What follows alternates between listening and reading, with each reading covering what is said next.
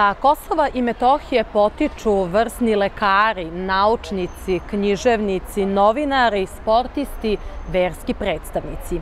U emisiji Put do uspeha upoznaćete mnogi od njih, saznati njihovu životnu priču, ali i put kojim su stigli do uspeha i tako postali čuvari svoga zavičaja.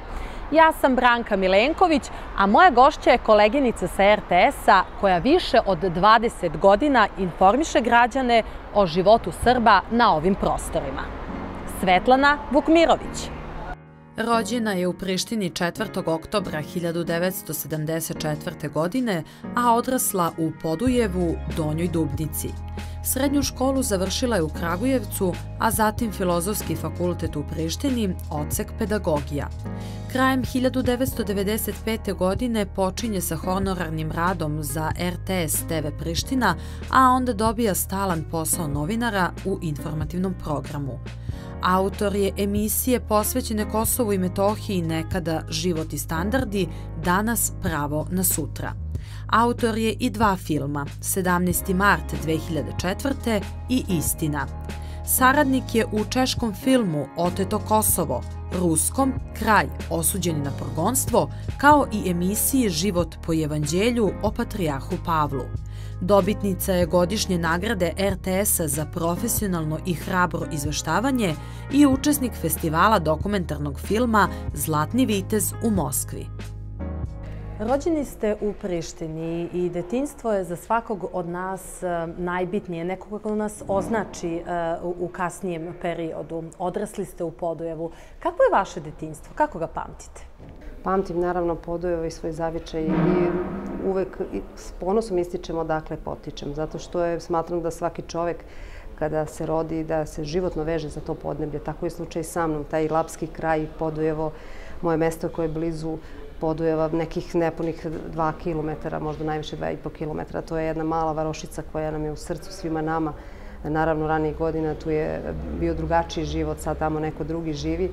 Mnogo toga se promenilo, ali e, mogu mnogo toga da pričam o mom detinstvu. Svakako je neobično, nije tipično detinstvo kao što to e, imaju ova deca u drugim e, delovima Srbije, zato što sam ja, moram i to da kažem, najpre krenula u školu sa pet i po godina bila sam sama u razredu od prvog do četvrtog. Ako to čujete, onda vam je jasno da svakako mi je detinstvo bilo neobično. Ehm, da se ja ne bi osjećala zapostavljeno, naše dve čuvene učiteljice, Jovanka i Milanka Leposavić, eh, koje su mnogo učinile za naš kraj, za našu školu, Vuko Stefanović Karadžić u Donjoj Dubnici, one su me spojile sa devojčicom iz drugog razreda, da se ja ne bih osjećala zapostavljeno. Naravno, nijednog trenutka meni to nije smetalo.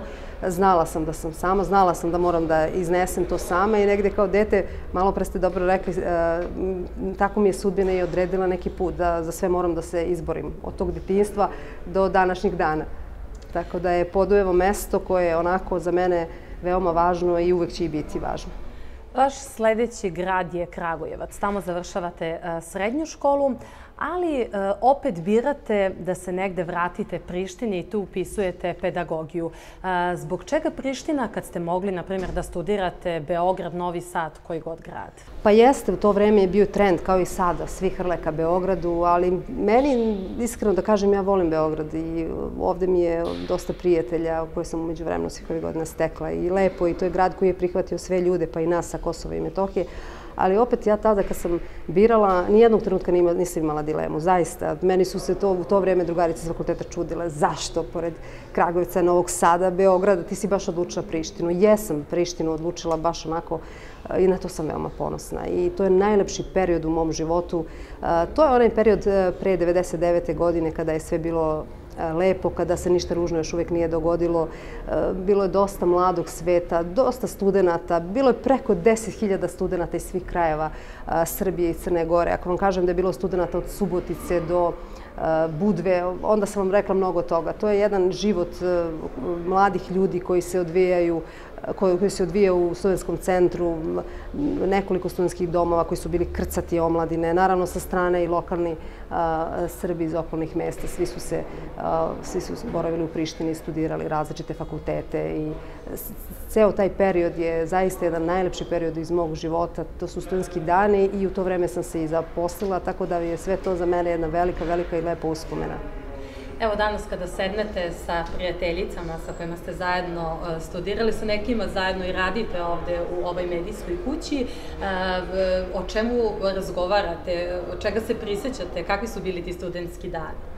Pa, mnogo uspomena, zaista mnogo uspomena. Setimo se kako smo odlazili, kafić galerije je bio aktuelan, 007, pored zgrade elektrokosmeta koju smo zvali Lepa Brena u tom periodu, pardon.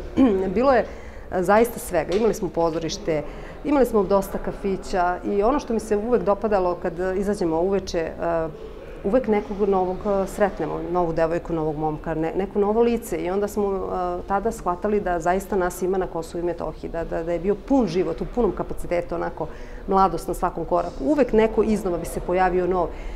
Tu su bili ljudi iz Beograda, Novog Sada, rekla sam da je bilo studenta iz svih krajeva, Srbije, Crne Gore, čak i Republike Srpske i stvarno je bilo lepo biti, boraviti tamo. Ja, taj, to je period kada smo svi bili bezazleni, bezbrižni. Jedini zadatak nam je bio da dobro spremimo ispit, da malo prošetamo, da izađemo, da vidi, da skupimo da li imamo dovoljno novca, da vidimo uvek nam je nedostajao novac i hrana, jer smo učili pa smo se trošili. Tako da, bilo je mnogo, mnogo toga. I sad ja imam baš prijateljice, neke su otišle da žive u Nemačku, neke su ovaj, u drugim gradovima Srbije. Prijateljice su mi u Vranju, u Novom Sadu, svuda ih ima, tako da imamo... Jeste li u kontaktu sa njima? Naravno, to su naj, najjača prijateljstva i imam baš, na to sam ponosna, baš e, čak se iz tih prijateljstava izrodila i kumstva i drugarstva, velika, velika prijateljstva, prijateljstva ceo život. Kakva se muzika u tom periodu slušala? Jeste li među prijateljicama imali i, i Albanke? Kako, kako se tada živelo? Pa ja moram da kažem da je, e, naravno, tada u tom periodu e, na Kosovu i Metohiju sama nisu Albanci studirali, ali su bili negde pored nas. Ali negde je bilo jako lepo i to se sećam. Više puta je e, na radiju, imali smo Radio Prištino, Radio Koronu i još jedna stanica bila, ne mogu sad da setim, privatna koja je jako dobro radila i sećam se da su Albanke naručivale pesmu od eh, Leontine. One su padale u nesvijest kad čuju njene pesme. Znači, to je jedan bio lep suživot. Živeli smo eh, zajedno, u nekom trenutku jedni pored drugih, ali je opet bilo nekakvog razumevanja, bilo je neke topline. Osećalo se da smo na istom podneblju, da dišemo isti vazduh, isto, pod istim smo nebom i to je bilo jako lepo. Onda prođete gradom, čujete njih kako pevuše nešto na srpskom. Mi smo se uvek pozdravljali, javljali. To je bio jedan normalan, ljudski odnos. Zaista jedan normalan ljudski odnos Prištine i tada uvek kao i sada, najveći je grad, samo što se sad sve to promenilo. Sad znate koliko Srba, nažalost, ima malo tamo i, i žalim za tim što se dogodilo jedno pitanje koje je možda malo intimnije, ali evo, pa prosto ako želite da nam odgovorite, a jesu li prve ljubavi bile vezane baš za Prištinu? O, pa da, naravno, naravno, pa to, to je za, za nas studente bilo normalno, to, naravno da je bilo tako. Bilo je tako. Svi mi negdje u životu imamo drage osobe koje pamtimo iz određenih životnih etapa, tako da ja imam određene osobe, ne bih da ih pominjem sada. Kako je Priština tada izgledala kao grad u vaše vreme? Je se puno promenila i danas odlazite, ovaj, vraćate se Prištini. Neku komparaciju da, da napravite? Pa, meni na prvi pogled e, kažu da se Priština promenila. Ja sam svakog meseca tamo. Ja, možda sam subjektivna tu jer ja mene vežu uspomene. Znači, čitav onaj centar grada pamtim svaku stopu gde sam prolazila. Mislim da bi u snu mogla onako da, da, da, da prođem i zatvorenih očiju gde znam gde se šta nalazi. I sve mi je to isto. Onaj prostor gde je univerzitetska biblioteka, pa imamo hram Hrista Spasa ovaj, koji stoji nedovršen onako. Ja sam posmatrala, sećam se, sa svoje terase sam posmatrala kad se postavljao krst jako simbolično bilo to što sam zaista videla da u jednom trenutku kada su uh, bio ekran i, mi smo studenti posmatrali nikako neko neobično vreme, neki oblaci, neka simbolika je bila u vazduhu. E, tako, nikako nije mogao krz da se postavi na kupoli. I to je onako baš nama skrenulo pažnju i majstori su se borili i postavljali i sad nekako je klizio, ali dugo vremena je prošlo, mi smo s nestrpljenjem čekali i odjednom je stao. I sećam se da sam u tom trenutku pomislila u sebi, ali zaista sam pomislila da, teško će nešto biti, ali ovo je sad postavljeno za sva vremena. I zaista verujem da će kad tad taj hram da se završi uh, i da se zaboravi sve ono što je bilo ružno, da se krene napred, da se vratimo svi normalnom i divnom životu, jer to podneblje je Bogom dano.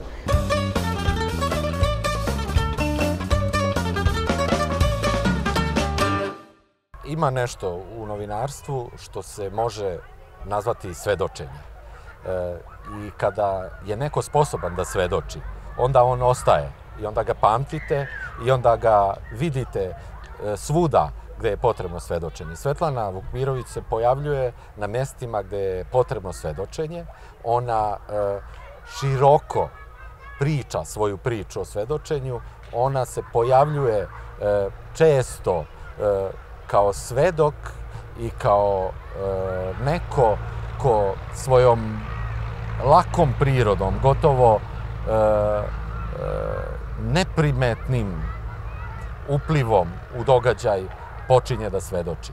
Što se tiče e, mene lično, ja nju doživljavam kao jedan izgubljeni grad, kao svedoka jednog grada koji je bukvalno zbrisan i jednog područja koje je potpuno zbrisano, a to je Podujevo, kada god e, se u nekoj, nekom obliku pomene Podujevo ili kada nešto tamo radimo, istražujemo ili najčešće odlazimo na groblja, kada vidimo onu crkvu iznad Podujeva koja je tako teško stradala 17. marta, e, ja znam da postoji jedan ozbiljan svedok svega toga, a to je Svetlana. Svetlana Vukmirović je pre svega moja koleginica, e, devojka koju poznajem nekoliko decenija. E, završili smo zajedno fakultet, istina ja pre nje, naravno jer sam starija. E, neko koji je ambiciozan, postojan, stamenit, ozbiljan, neko u koga možete da imate poverenje, neko, iako je mlađa, možete da se oslonite i tekako, neko ko o svom poslu mnogo zna i neko ko je vrlo istrajan, posebno ona, koja pripada informativnom programu, koji nije nimalo lak, i naročito tema kojom se ona bavi, koja mene direktno u srce pogađa, jer sam ja rođena u Prištini, pa joj posebno odajem priznanje na istrajnosti e, više od 25 e, godina sam na time bavi, ali e, više ciljam na period otkako ne živimo na prostoru Kosova i Metohije, zato što je sve te godine, svake nedelje ili svake druge nedelje ona tamo. I ona tamo radi, i ona tamo snima, i ona beleži života onih ljudi koji su ostali i opstali, onih ljudi koji praktično čuvaju Kosovo, ali za nju zaista smijem da kažem da je jedna od tih. To što ona prenese gledalcima, to što gledalci, zahvaljujući njoj, e, vide je prava slika onoga što se tamo dešava. E, sneg, kiša, metak ne sprečava nju da gazi hrabro i nekako rekla bih ponosno. I ta reč je simbol za nju. Prožimamo se e, kako prijateljstvom, drugarstvom, ljudskošću, tako i poslovno i to mi jako prije. Znate, kada u ovoj vrsti posla imate iskrenog prijatelja i kolegu, to je nešto što e, je neizmerno vredno. Ja ne mogu da kažem koliko je ona vredna za moj život i moj posao. Kažem moj život jer moja porodica nju voli, ceni, poštuje. Moja šira familija prati sve ono što ona radi i mi svi naravno. Tako da, da je to ovaj, jedno veliko, mm, mogu slobodno kažem, e, obostrano poštovanje.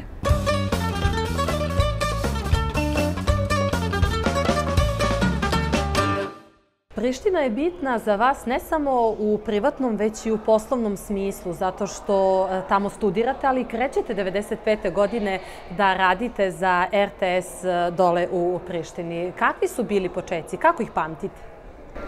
Pa da, jeste najvažnije za mene to što sam baš e, novinarske prve korake započela u televiziji Priština i zaista sve nekako kod mene, čitav moj život je upućen na Kosovo i Metohiju. Jednostavno, šta drugo da kažem nego prosto negde sudbinski je to tako. Krajem 99. 95. godine pardon, sam počela da radim u, i radila sam neke druge poslove. Nisam počela odmah da radim, bila sam na drugoj godini fakulteta i negde sam uspela da počnem honorarno da radim neke poslove. Obrađivala sam statističke podatke, javljala se na telefon i u sve vreme u sebi sam imala misao da e, šta hoću. Znala sam da želim da budem novinar i to sam negde još u osnovnoj školi zacrtala. E, meni je veliki uzor bio tada kada smo otišli sa Kosova i Metohije i porodica, moram da kažem 80. godine, ja sam posle 10. godine prvi put napustila Kosovo i Metohiju, pa tek 99. drugi put i koliko god puta da odlazim sa Kosova, ja se njemu vraćam.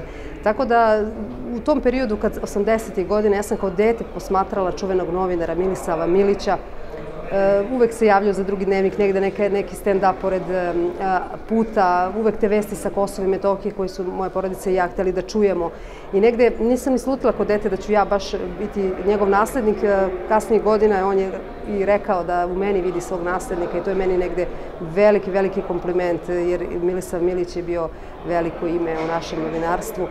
E, nažalost, on više nije sa nama, ali imamo divne uspomene o njemu. Tako da sam ja, kada sam krenula u startu, sam e, radila neke druge poslove i onda se ukazala prilika i ja sam kao student rešena bila da pokušam. Tražila sam šansu, e, dobila sam šansu i negde sam sama sebi obećala ako se ne budem našla u tom poslu ću sama otići, jer mene je svakako u to vreme čekao posao asistenta na fakultetu E, tako da sam imala e, šta da radim, imala sam e, druge isto, istovremeno i te planove. A naravno tu je uvijek bilo kao i sada aktualno uvek inostranstvo, ako čovek ne može da se ostvari ovde, to pokuša vani. Ali opet, kažem, događaji koji su kasnije usledili i sva ta moja, sva taj moj rad na Kosovu i Metohiji, negde su me izbacili u prvi plan te okolnosti počela sam da radim ozbiljnije stvari od onih laganih, običnih, od vremenske prognoze, pijačnog barometra.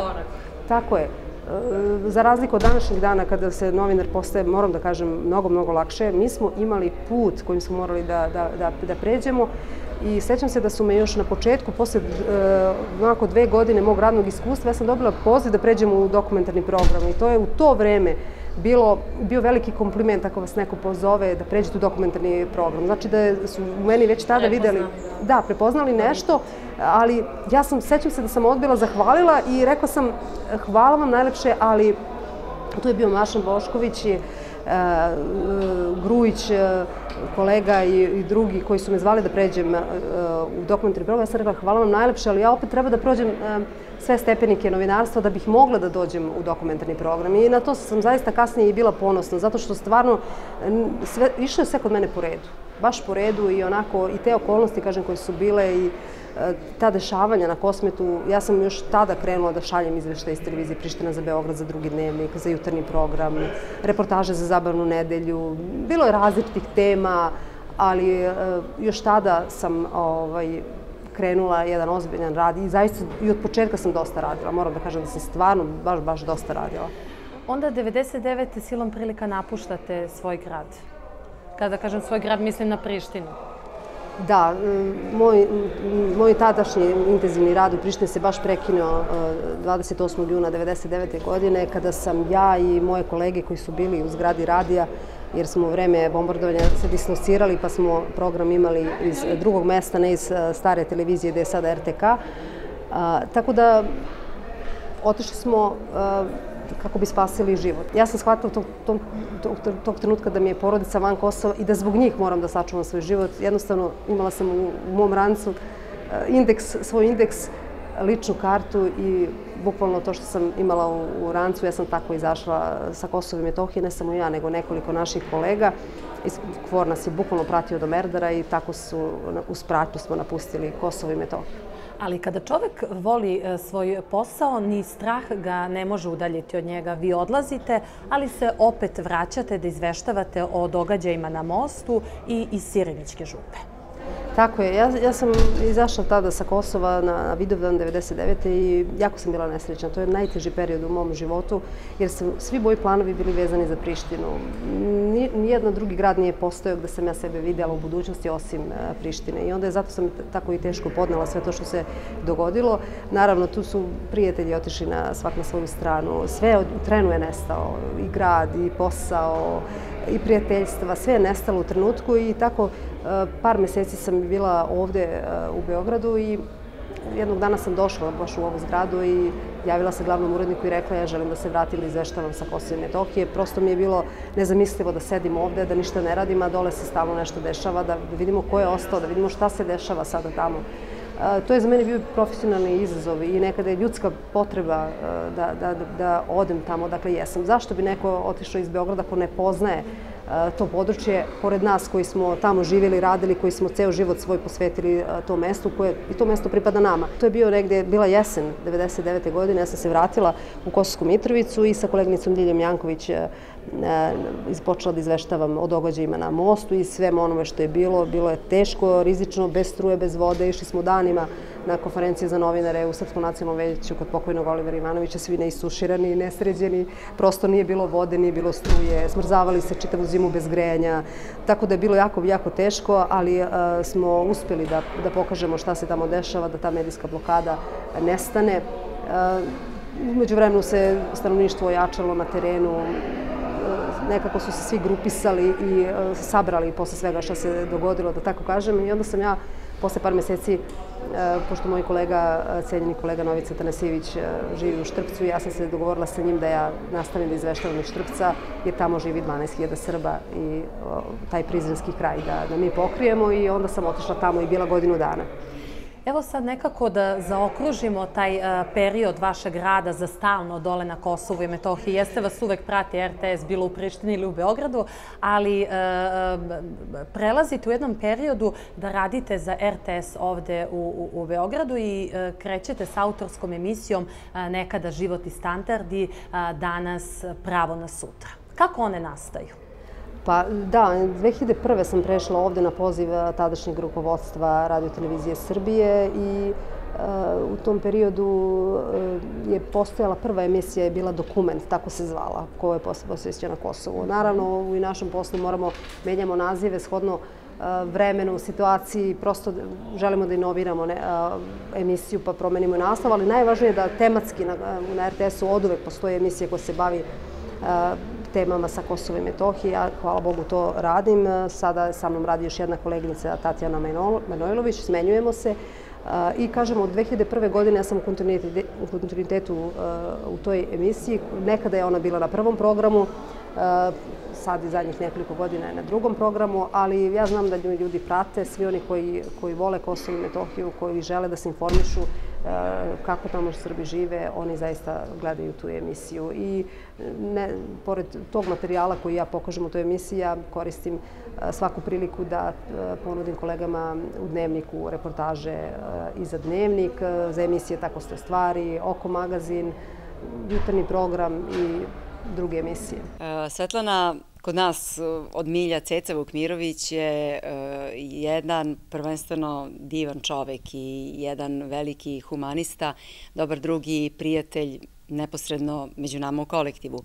Što se tiče e, posla, ona je jedan vrstni profesionalac, to stvarno mogu da kažem zaista e, utemeljeno i zasnovano na činjenicama, jer znamo se, eto, dve decenije, rekla bih, i zaista ona je e, predana poslu i daje maksimalno sve od sebe, što se samog posla tiče, donoseći pri tome stalno sa terena priče, dokumentarce, rubrike, izveštaje, sudbine ljudi sa Kosova i Metohije, sudbine ljudi, evo neki dan je bila u Dalmaciji, tome kako žive naši malobrojni predstavnici tamo. Dakle, ona je ta koja beleži kako žive naši ljudi. Najčešće znači je to naša južna pokrajina i ona je ta koja je na neki način svedok sadašnjeg, a i prethodnih godina i prethodnog vremena situacije i teškoća sa kojima se oni suočavaju.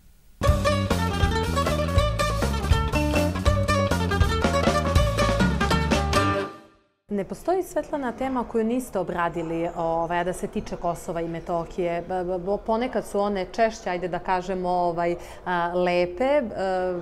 Reći ću to zato što ste i u poslovnom i u privatnom smislu pozitivni, ali obuhvatate i svakodnevne probleme Srba dole na Kosovo i Metohiji. Ja ću krenuti sa onom lepom temom i pogledat ćemo jedan insert iz vaše emisije o natalitetu.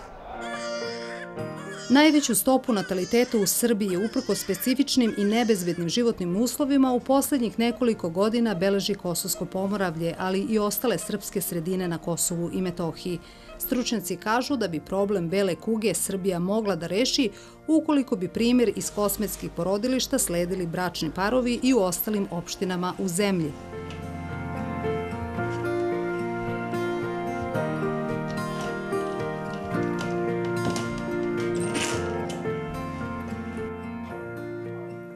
Novo otvorenom porodilištu u Pasjanu do sada je rođeno 108 beba.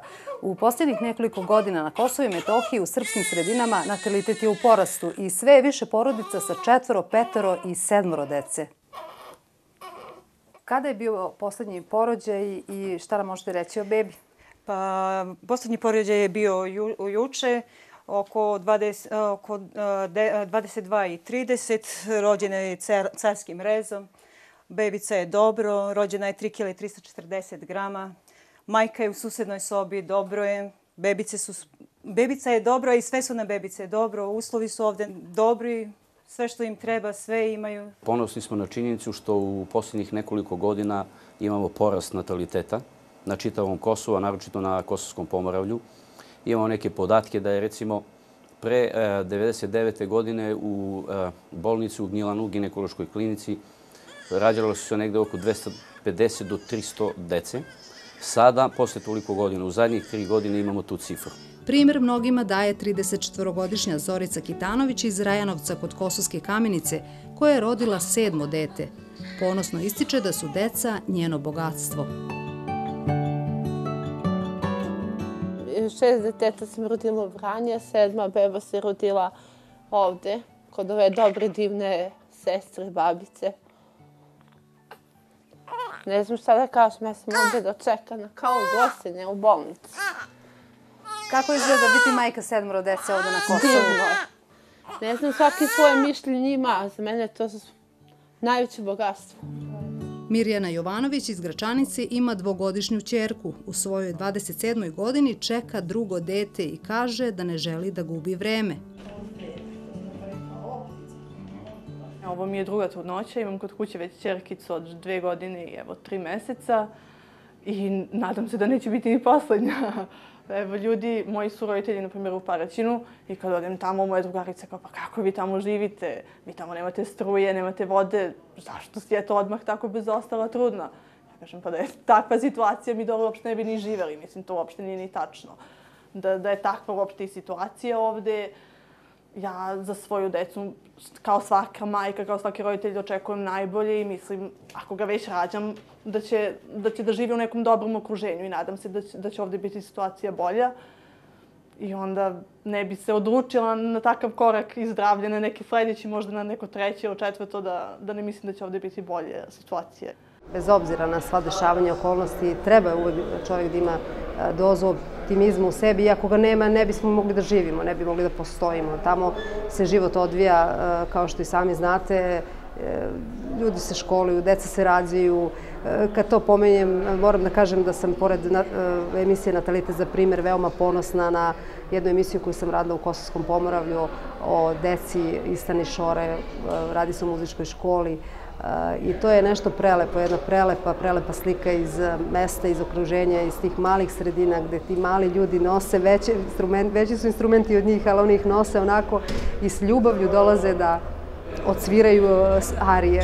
Meni je baš bilo interesantno, možete da čujete jednog Beethovena u sred Stanišora, u ambijentu gde ne bi to niko nikada očekivao, znate. Ja kad, kad sam vršila poređenja koliko je dece u Beograd, beogradskim školama, u muzičkoj školi u Beogradu, ispostavilo se da na Kosovu ima više dece koja pohađaju muzičku školu nego što je to u Beogradu. Ta reportaža je bila i u drugom dnevniku i sećam se da je Preneli su mi prijatelji, a i sam Radoš Bajić lično nedavno ovde u RTS-u mi je rekao da je nešto lepše nije video od te slike sa Kosova i Metohije. Tako da uvek ima lepih priča i pored svega i mi smo tu da to zabeležimo.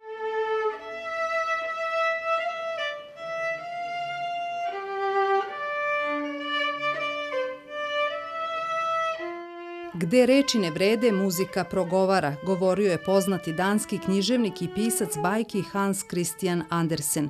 Te misli su se potvrdile i u Kosovskom pomoravlju. U selu Stanišoru, blizu Gnjilana, uslovi života daleko su od bajke, ali u muzičkoj školi Stevan Hristić muzika je progovorila i odnela pobedu nad teškoćama koje prate život Srba u tom delu zemlje – Učenici i profesori te škole, koja je osnovana davne 1979. godine, na najlepši način pokazuju da pored prepreka i najveći snovi mogu biti ostvareni ako se za njih borimo. Muzičku školu Stevan Hristić ovde u Stanišoru pohađa blizu 500 učenika. Mališane iz gotovo svih sela Kosovskog pomoravlja s radošću dolaze na nastavu. Škola je počela sa radom 2004. godine i od tada je život u ovom kraju dobio novi smisao da će zvuci klavira, gitare, flaute i drugih instrumenta privući veliki broj dece i učenika u selu nadomak Gnjilana, malo ko je u to mogao da poveruje, ali zahvaljujući entuzijazmu najpre učenika, potom i pojedinih Gnjilanaca, škola danas uspešno radi pa je postala centar okupljanja mladih u tom kraju. Ja se veoma radujem dolasku u ovoj školi, jer ovde mi dođe kao uh, relaksacija mentalna i ovde volim da sviram i opuštam se uz muziku u razgovoru sa prijateljem on bi je ponudio i rekao je ja radim dole na Kosovu, na, na prvu loptu kad sam ja čuo Kosovo, meni je to bilo jako strano, posle svih onih događaja koji su bili do 99. godine. A, na kraju sam nekako prelomio i rekao, hajde da probam, da dođem pa ću vidjeti kako i evo to već traje 10 godina. Rad s učenicama, kao što sam rekao, veoma je a, zanimljiv, deca su jako redovna, dolaze na nastavu. Par puta sam pravio, pošto imamo ovde uh, kombi prevoz koji decu prevozi, par puta sam išao sa vozačima da, da skupljaju učenike. Kada sam vidio iz kojih krajeva i kojih sredina deca dolaze ovde u školu, mislim ja iz kakvih sredina dolaze, znači ja sam rekao svaka im čast. Blisko sarađujemo sa institucijama koje se bave kulturom i tu je jedan od ovako radosnih i ovako neverovatnih fenomena ta muzička škola u Stanišoru koja broji preko 400 đaka.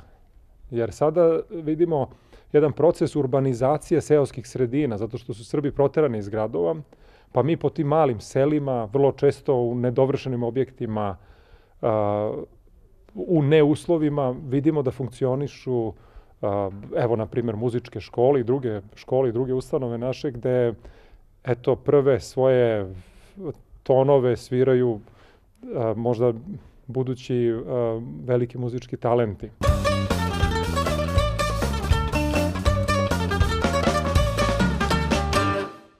Mislim da je želja svakog novinara da bude ovde u studiju Dnevnika. Evo, i moja se ostvarila. Vi imate serijal od e, osam emisija o uzurpiranoj e, imovini. E, ove godine je veoma važan serijal i uradila moja ekipa i ja sa njima. Na to sam veoma ponosna. Radilo se o uzurpiranoj imovini nekoliko, odnosno osam emisija smo uradili o tom problemu koji je zaista na Kosovo i Metohiji veliki. Pokazali smo e, ljude koji su u tom problemu, e, slikali na licu mesta njihovu imovinu, govorili e, sa vlasnicima imovine i sa Albancima. koji su hteli da razgovaraju. Nije bilo jednostavno, išli smo i na u mestima gde nismo baš dobro došli, ali ono što je najvažnije je da smo mi imali svedočanstvo preko 75 ljudi koji su potvrdili da imaju problem, da im je zapravo imovina oteta, uzurpirana ili na drugi način prisvojena.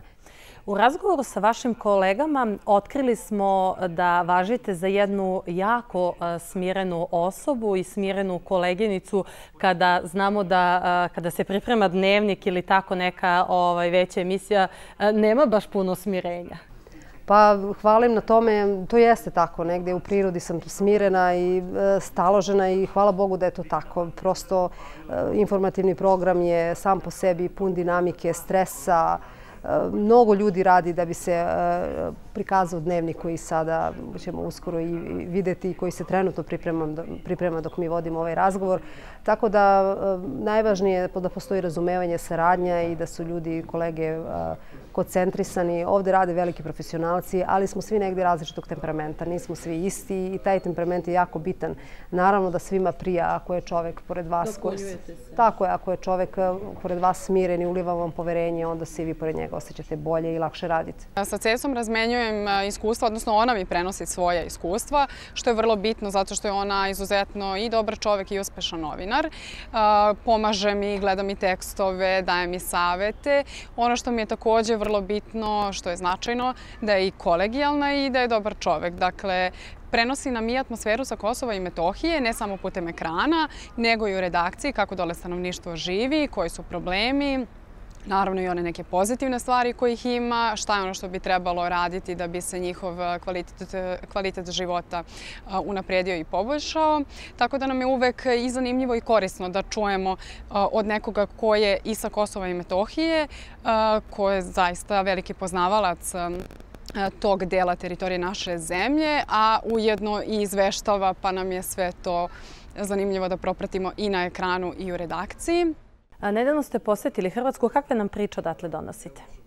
Da, to je bio jedan jako zanimljiv put. 30 mladih ljudi iz Zemuna koji su poreklom iz Dalmacije, obišli su svoj zavičaj i negde slična priča poput Kosmetske naše i to je jako lepo bilo putovanje zato što su oni mogli da se uvere gde su živjeli njihovi roditelji, kako žive malobrojni povratnici. Ruševine su u Dalmaciji, ruševine su na Kosovo i Metohiji, ali negde ta volja i taj život kod tih mladih ljudi pobeđuje sve okolnosti koje prate njihov život i živote svih nas.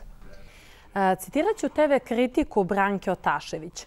Ono čime televizija može da doprinese boljem razumevanju svake ekscesne situacije jeste redovno bavljenje kosmetskom svakodnevnicom, upoznavanje gledalaca sa životom koji teče iza političkih aktuelnosti. To jedina čini, mada nikada dovoljno radio televizija Srbije svojim stalnim ciklusom Život i standardi, oslonjena u dobroj meri na skromnu lokalnu srpsku medijsku infrastrukturu, ali sa posvećenim reporterima kakva je Svetlana Vukmirović. Šta vam ovo znači?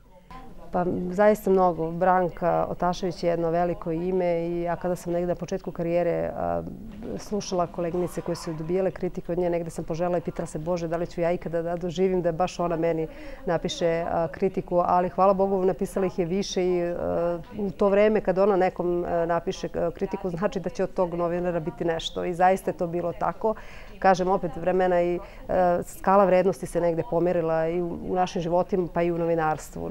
Ne postoji više neko pravilo, ali... Kako je izgledalo nekada, kako izgleda danas novinarstvo? Pa teško je to u nekoliko reči opisati, ne bih nikog da povredim i da kažem neke stvari, ali naravno e, rad se i znanje previše cenilo. To je definitivno tako. I danas kogod poželi može da bude copy-paste novinar, da uđe na internet. Mi to nismo imali zaista. Pošalje vas na događaj, dobijete olovku i papir i ako se snađete, ako isplivate, vi možete da budete novinar, ako ne, nemate šta tu da tražite. I tu se cijela priča završavala. Danas je drugačije. Proveri se, prepiše se vest, sve se kopira, tako da površne informacije dolaze, ne, ne provere se do kraja.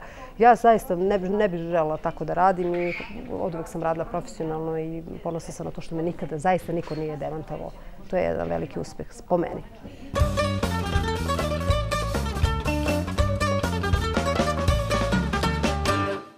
Svetlana, kažu da novinarska slava traje koliko i njegova rubrika. Da li se slažete?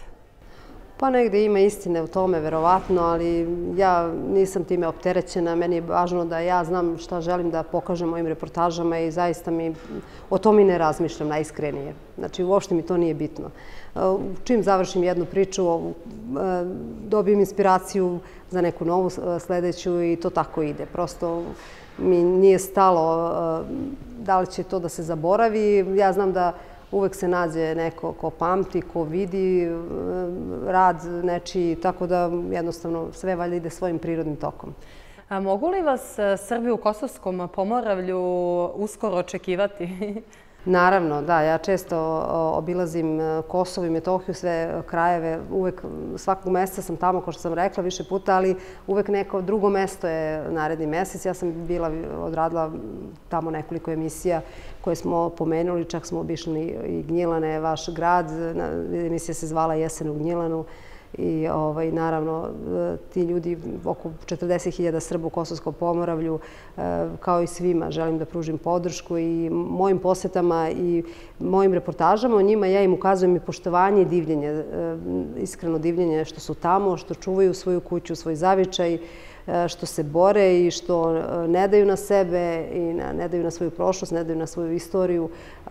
Smatram da generalno cela zemlja treba da bude njima zahvalna što su tamo i to što rade je neprocenjivo za sve nas. Da niste novinar, šta biste bili? Pa zanimljivo pitanje. Verovatno bi bila pedagog. Po zanimanju sam diplomirani pedagog. Verovatno bi radila u nekoj školi sa decom koju obožavam. Od uvek sam volila decu i rad sa decom i prija. Tako da, verovatno neka škola, ne znam sad koja, da li osnovna ili srednja, može na fakultetu, jer me tu, tu trebalo je da budem profesor na fakultetu, tako da sigurno prosveta. Vaš život e, su nekako obeležila, obeležili odlasci sa Kosova i Metohije i e, ponovna vraćanja. Kosovo i Metohije je vaša ljubav i šta još? Pa jeste, baš je tako bilo. Moja velika ljubav je Kosovo i Metohija. Ja sam zaljubljena u Kosovo i Metohiju i jednostavno da sam htela, mogla sam da odem, mogla sam da se ne bavim tim i sada mogu da prestanem. Uvek nešto drugo može da se radi u životu, ali ja kada bi sada birala da, da radim bilo, bilo šta u Beogradu, na primjer, da budem izveštač iz Skupštine Srbije, pre bih kad bi birala ponovo izabrala da radim ovo što radim sada. Tako da, to sam ja to, oni manastiri iz srednjeg veka, naša zaostavština, naša kulturna baština, naše freske koje govore i dan danas, njihovo trajanje nam daje poruku. Sve to što mi imamo, neki narodi nemaju ni kamenčić mali od toga da kažu da je njihov, da je to njihova istorija. Mi imamo toliko toga tamo. Imamo svuda, imamo i ovde, ali prosto negde to Kosovo je duboko, duboko u nama i svi mi koji smo sa Kosova i Metohije znamo šta za nas znači Kosovo, kolika je to ljubav, to nije, ako ja volim sad Kosovo, da ja sad nekog drugog negiram. Ne, naprotiv. Prosto, to je velika, velika količina ljubavi i samopoštovanja. A mi, naravno, Srbi sa Kosovo i Metohije, tekako imamo na što da budemo ponosni. To je toliko toga u prošlosti vezano za Kosovo i Metohije, sve naše pesme, sva naša prošlost, sva naša ljubav, naše herojstvo. Volila bih da kažem i mlađim kolegama, ne vezano samo za ovaj posao, nego svim mladim ljudima, da jednostavno um, uvek u sebi nađu snagu i energiju. Svi mi imamo to. Niko nije bolji od nekog drugog posebno, nego samo neko je bolji zato što više radi na sebi, što se više usresredio na nešto i u tome je uspeo, zato što je bio vredniji. Znači, moramo više da radimo na sebi. Samo je to put do uspeha kako se zove vaša emisija, Put do uspeha. Moj jeste bio trnovit, e, nebezbedan i sada nije siguran, ali opet treba čovjek da ide, e, da gradi taj put na, na nekim e, zdravim stazama, na nekom zdravom temelju, na nekim ljudskim vrednostima, univerzalnim vrednostima, na istini, na onome što nas čini ljudima. Ja vam, Svetlana, želim još puno uspešnih emisija i hvala vam što ste našim gledalcima otkrili vaš put do uspeha. Hvala i vama. A mi se, poštovani gledalci, vidimo i sledeće nedelje sa nekim novim gostima.